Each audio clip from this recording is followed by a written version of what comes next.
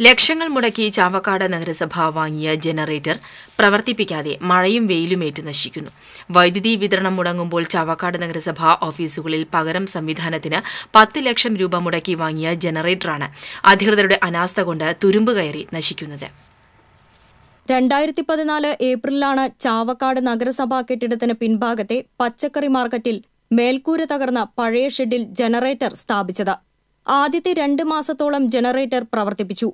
പച്ചക്കറി മാർക്കറ്റിലെ പഴയ കെട്ടിടങ്ങളുടെ വയറിംഗുമായാണ് ഇത് ബന്ധിപ്പിച്ചിരുന്നത്.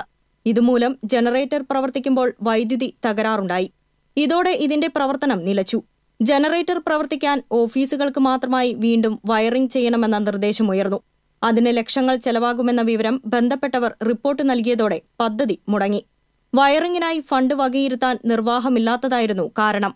ഇത്രയും ഭീമമായ തുക മുടക്കി ജനറേറ്റർ സ്ഥാപിക്കുമ്പോൾ അതിനുവേണ്ട വയറിംഗ് സംവിധാനത്തിനും പദ്ധതി വെക്കാതിരുന്നതാണ് തകരാറായ വയറുകളുമായി ജനറേറ്റർ ബന്ധിപ്പിക്കാനുള്ള കാരണം.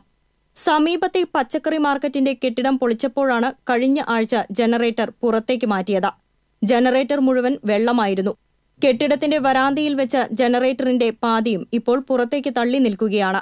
നഗരസഭ ഓഫീസ് പ്രവർത്തിക്കുന്ന മുകളിലെ കെട്ടിടത്തിലെ മാലിന്യവും അതിന്റെ മുകളിലെ ടെറസിൽ നിന്നുള്ള മഴവെള്ളവും പൈപ്പുകൾ വഴി പുറത്തേക്ക് വീഴുന്നത് ഈ ജനറേറ്ററിൽ തട്ടിയ ശേഷമാണ്. വെള്ളം അതിന്മേൽ വീഴാതിരിക്കാൻ ചെറിയ പ്ലാസ്റ്റിക് ഷീറ്റ് മാത്രമാണ് വിരിച്ചിരിക്കുന്നത്. മഴയും വെയിലും കൊണ്ട് ജനറേറ്ററിന്റെ അടിഭാഗത്തെ പെയിന്റ് ഇളകി തുരുമ്പെടുത്തിട്ടുണ്ട്.